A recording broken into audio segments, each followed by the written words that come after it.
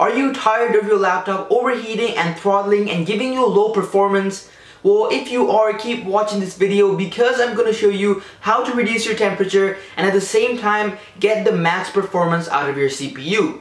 So let's get started. Hey, what is going on you guys? Tech Alpha here, back with another brand new video and we are going to be undervolting my laptop right here and I'm going to show you how undervolting can really help improve your performance and reduce temperature on your laptop. Now, what is undervolting you ask? Well, undervolting is pretty much reducing the voltage given to your CPU and trying to match the required voltage of your CPU in order to reduce excess temperature and give the most ideal amount of performance which is the max amount it can get. So you're wondering that when you reduce voltage, you're probably taking away the performance, right? Well, not really, because these CPUs have a required voltage, but your laptop right now is giving it excess amount of voltage. Because you're giving it too much, the temperature is too high, and it starts throttling and gives you low performance. So we're trying to match the required voltage so that we can get the ideal performance out of your CPU.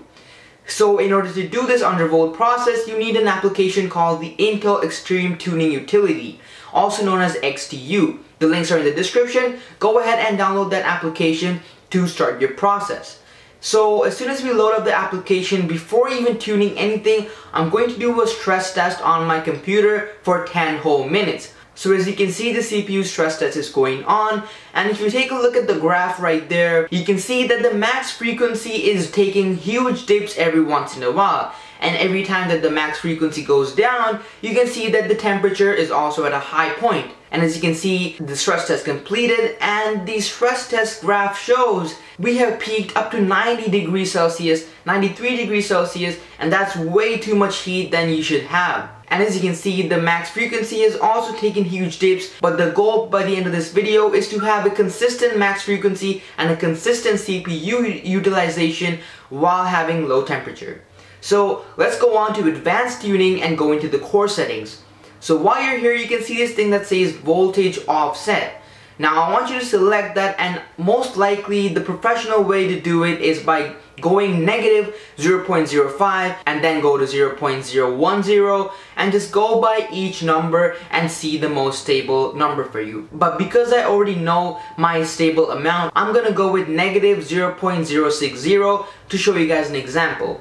But if you're doing it on your PC, I would go by negative 0.20 each time until you meet your value, even though it takes time. So we're gonna run a stress test after this undervolt and see what happens. So as you can see now, the CPU utilization is consistent and the max frequency is also super consistent and the temperature has also dropped a lot. Well, not too much to be honest, it's only dropped by 5 degrees Celsius. We're now averaging about 85 degrees Celsius, but it's still hitting some high 80s every once in a while. It's no longer doing power throttling, so this could be an amount to stay safe at if you don't want to go any further and still get performance. But I want to keep pushing it to get lower temperature, because in the long run, for long use, having low temperature will help. So we're gonna go with negative 0.125. And basically, now we're gonna do a CPU stress test again and see what happens. So as you can see, this stress test is going on, but right off the bat, you can tell that the max frequency in the CPU utilization is staying consistent. But on top of that, the CPU temperature is about 80 degrees Celsius on average. And now if you compare it to the first CPU stress test that we did, we started off with about 90 and super high 80s, and now to average about even 75s every once in a while, that's a huge, huge improvement. And I would say that we have reduced the temperature by almost 10 degrees Celsius, if not more or less. But is this the amount that you should stay at? I personally think that this is the stable amount for my laptop. I'm not going to push it any further. It's a Core i7-7700HQ and I don't want to go below the required voltage, but for you guys, I have an example to show you what it is like to go beyond your CPU's voltage. Okay, so now we're gonna do over under volting. So let's say I go to about a negative 200. Let's just say. What? Best thermals ever? Oh. Get that right there.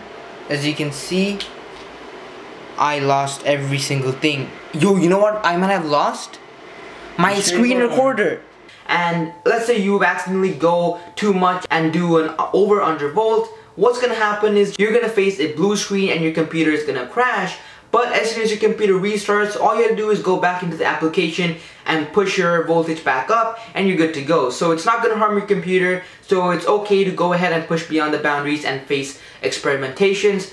But when I was doing it, I lost my screen recording, so I had to do another screen recording for this video. But anyways, hopefully this helps you guys with undervolting. And I'm doing a undervolting GPU video tomorrow. So check the description if you want to see if that video is up. If it's not up yet stay subscribed and turn on post notifications to be sure that you see that video tomorrow but anyways, this is Tech Alpha signing out with today's video. Hope you guys were able to undervolt your CPU. And if you were, be sure to let me know in the comment section below. Ask me questions, do all that good stuff. Like, subscribe, turn on post notifications. And hopefully, now you have low temperature with high performance and your laptop is running better than ever.